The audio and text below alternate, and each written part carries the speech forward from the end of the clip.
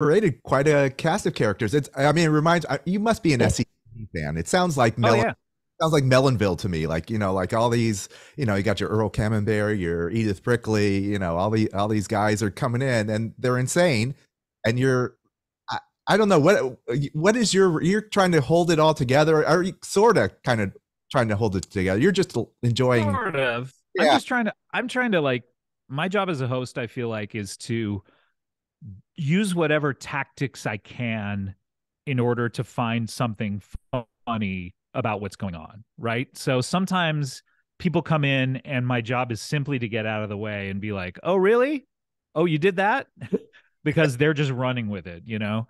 And then sometimes someone will come in with, you know, admittedly a thin premise for their character and my job is to take it as far as it can go before i realize it's not really working and then try to take it in another direction. And, and then if that doesn't work take it in another direction. And and basically it's just like a test to try to find where the joke is you know? So that's that's kind of what i do but i am the straight man on the show. Yeah. And it sounds like it's it's all one take. Is that you just let it? It is. You just let yeah. it roll and and whatever ha- if it bomb, you know, it's yeah we don't we don't talk about what we're going to talk about or anything. Um at most usually what it is is a comedian will come in and they'll sit down and i say what's your what's your name? And what do you do? And that's all i really want to know. And and sometimes if someone's doing the show for the first time they'll start explaining the bit to me and i go oh no no no. I just i want to hear it in real time so i can you know experience it in real time and react to it in real time and so yeah it's all just uh, improvised there in the moment and we put it out and and um, somehow people still are listening after 800 episodes So you so so because this is all improvised, you you are not rejecting any characters. I mean, well that you know it's interesting because there is a there there's the rule that i think you're referring to holly of yes and in improv. Which uh to explain it for people who have no idea what that is when you're doing when you're improvising especially on stage or on a podcast someone comes in and says hi my name is joe.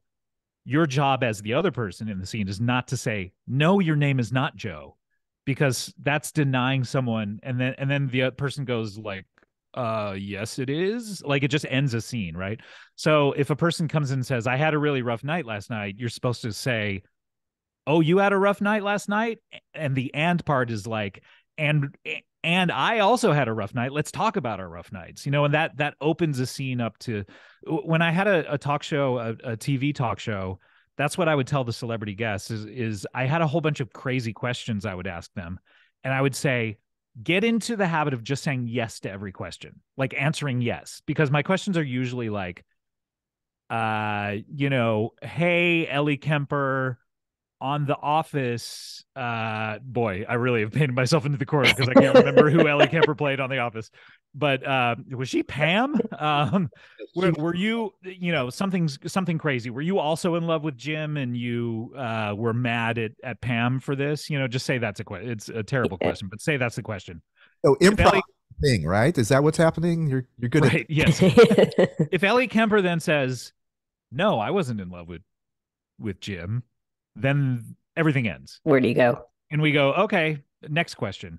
But if she says, "Yeah, I was in love with Jim. I used to sit there at my desk and uh, I would stare at him the entire time, and the camera would zoom in on me," you know, then then something can continue, and so that that's that's normally what what improv is all about is just like not shutting down a premise that someone else brings in. Now, to be fair, if a premise isn't working, I'll often shut it down and try to pivot and do another direction. So, I don't know, the, like rules are made to be broken, but that but that's the general idea.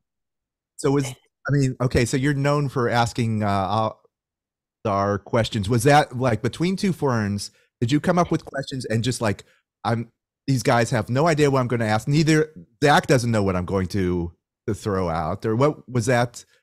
Uh, Yeah, I you know we we haven't we, we we never used to talk about between two ferns in the process of how we would make them because we wanted it to be back when it was more of a current concern we wanted it to be a little bit of a mystery. When we did the movie in 2019 um zach really wanted to show uh, the bloopers at the end of the movie, and I was a little against it because I was like, we've never done that, we've never shown anyone the you know the process, but uh, he was right. I mean, there uh, people like them more than the movie itself. So uh, I, I think you can see from the bloopers. Um, yeah, we never tell the the acts what the questions are the inter- interviewees we never tell them what the questions are going to be we're just having fun in the moment everyone's crack- cracking up while it happens and then we edit everything out and make it seem like it's a really dry angry conversation between people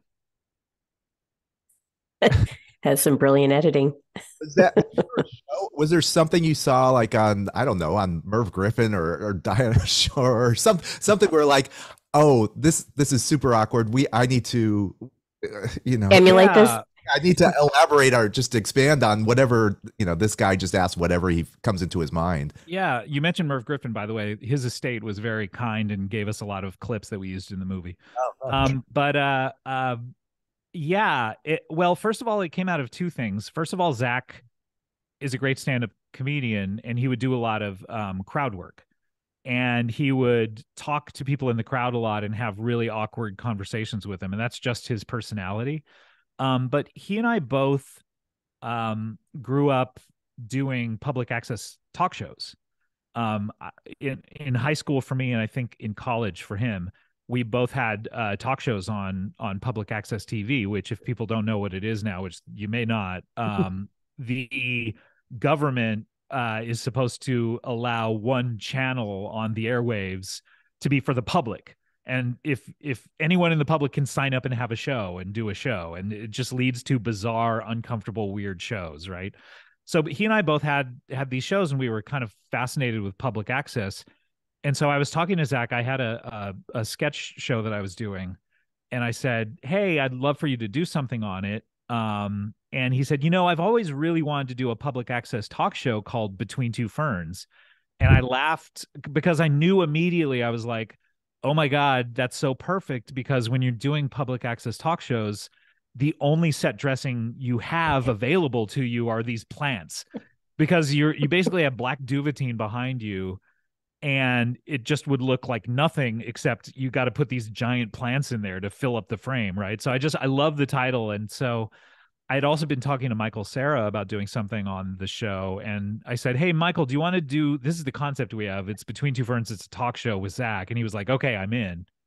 And we we were in a basement and we just filmed it just kind of messing around and trying stuff out and and you know like Zach was trying stuff and and Michael was trying stuff and and we were shouting like ideas from the other room in, in the basement. And then um, our our editor Dan Strange who directed a lot of the episodes too he put it all together in this great way that just made it so uncomfortable and so awkward. It was it was it was very cool. And we just stumbled into it and and we put it up on the internet it was very popular like over a million people which back then was giant um watched it and we were like well that was cool and we never thought we would do another one which is so weird. And then jimmy kimmel said hey i want you to do another one with me and we said oh no we already did that. And he was like he was like no you can do more. And i was like oh oh yeah you're right it's a talk show we can do more episodes i guess and so then you know our friend John Hamm wanted to do one, and and Zach had The Hangover coming out, so Bradley Cooper ended up doing one, and it just became it snowballed and became a big thing, um, which was is really, I think, one of the best ways to have success in this business is to just kind of do something for fun and then stumble into success, you know, which which I, I'm really appreciative of. Which is sort of like the Comedy Bang Bang podcast. I was just doing for fun because I love radio, yeah. and it be- became popular.